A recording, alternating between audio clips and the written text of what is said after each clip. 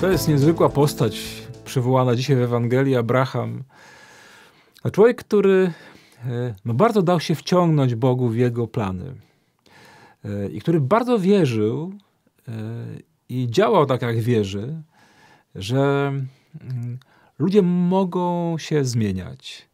Że mm, gdy tylko będą przyjmowali Boże prowadzenie, Jego słowo, wtedy ich serca będą stawały się inne. Ale bardzo się też rozczarował Abraham.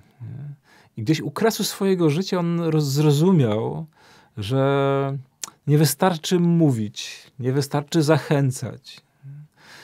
Że skala tego, co my nazywamy naszym zamknięciem na Boga, naszym grzechem, e, jest dużo większa niż mogłoby się wydawać. E, i że musi przyjść ktoś, ktoś, kto będzie kimś dużo więcej niż tylko nauczającym, czy zachęcającym, czy jakimś pasterzem. E, I widział go w nadziei, że ten ktoś się pojawi po to, aby dokonać pełni Bożego dzieła.